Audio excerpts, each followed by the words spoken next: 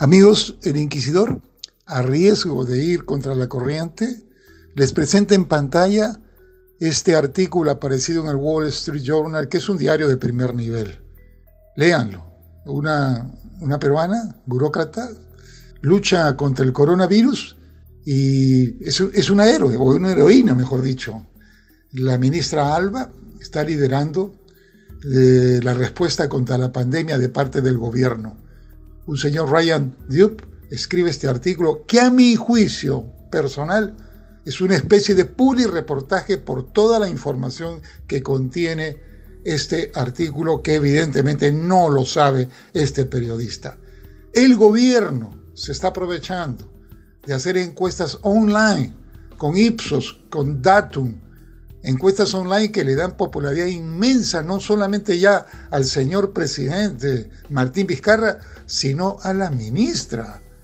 Está bien, está bien que, traten de mejorar eh, la figura macroeconómica peruana, pero de ahí a decir las cosas que se dicen en este artículo, por eso voy a dedicarme a traducir este artículo en inglés y decirles qué más o menos dice el mismo y saquen ustedes sus conclusiones. Si les encanta Vizcarra y la ministra, ok, pues enhorabuena. Es un punto de vista personal que estoy convencido que a mucha gente les va a caer bien porque no están claros de cómo este gobierno está manejando una campaña masiva y que no nos está diciendo la verdad. Empecemos entonces. Para mí este es un Republic reportaje del Wall Street Journal, por si acaso. Entonces, más o menos esto en inglés yo lo traduzco, ¿no? Y les pongo el link por si acaso para que lo vean ustedes si quieren.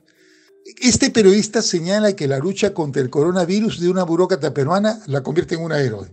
Obviamente se refiere a la ministra María Antonieta Alba, quien dice que lidera la agresiva respuesta del gobierno a la pandemia tal cual le señalaba anteriormente a ustedes.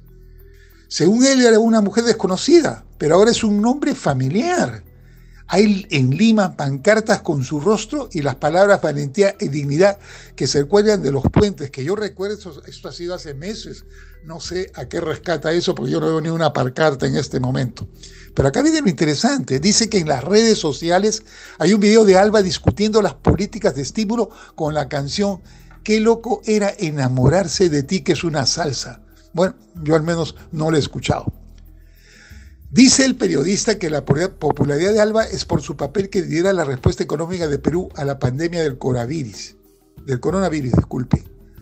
Perú dice está implementando un paquete de estímulo colosal que asciende al 12 punto del Producto Interno Bruto, uno de los más agresivos del mundo en comparación con el tamaño de su economía. Y dice que la ministra Alba dice que no va a escatimar en los recursos necesarios para la emergencia y en una entrevista reciente dijo que el dinero no puede ser un problema. Perú gasta más que Estados Unidos que asigna 10% de su PBI, dice este periodista. ¿Cómo puede comparar Perú con Estados Unidos y otros países más? Por si acaso, léanlo. Dice que es un lujo que pocos gobiernos tienen en una región famosa por sus ciclos de auge y quiebra. Y, por supuesto, trae a colación Ecuador, que está hasta las patas, y Argentina, ni que se diga. Pero es gracioso. Hay un economista gobernista que ni siquiera voy a mencionar su nombre porque varias veces ha dicho cosas inconsistentes, que dice, nos enfrentamos a una situación en que los bomberos se apresuran a apagar un incendio, pero la buena noticia es que los bomberos tienen mucha agua. Mentira, falso. Esta es la gente, los economistas, macroeconomistas, macrobugos que mienten, mienten al país. Después dice este cronista, o comentarista, o periodista, que Alba tiene una calificación de aprobación del 75% la más alta del gabinete impulsada, obviamente por Vizcarra, según la encuestadora de Ipsos, y yo me imagino que se le escapó datum, pero yo no creo en estas encuestadoras, no tienen control y hacen muestras online, no creo para nada, sinceramente. Los invito a que lean la entrevista completa en que señalan que la deuda del Perú es ahora del 27% del PIB bajísima, y otros indicadores que el gobierno le ha facilitado, obviamente, al Wall Street Journal. Ya he demostrado que la deuda es mucho más, hay una deuda privada y hay una deuda por lo menos de contingencias. Y ya he dicho que las RINs no se pueden gastar, que la inflación se mide mal, pero en fin, así son estos gringos, pues, le creen a los numeritos. Dice además el artículo que los fondos han permitido a las autoridades aumentar las pruebas a unas 10.000 personas al día, lo que se está permitido medir la mejora de la propagación del virus. ¿Le creemos al Wall Street Journal? Yo en lo personal no les creo. Lean el artículo o que se los traduzca alguien.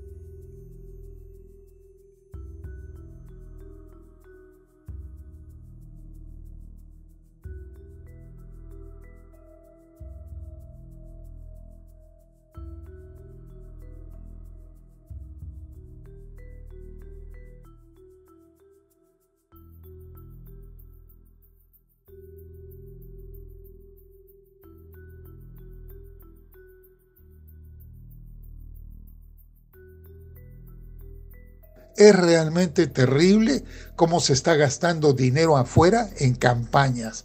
Eso no me parece adecuado. El país enfrenta un virus mortal, se está abriendo una cuarentena que tiene enormes riesgos, pero no hay alternativa porque tenemos una economía informal enorme, cosa que este señor del Wall Street Journal ni siquiera menciona. No se lo soplaron. Gracias por su atención.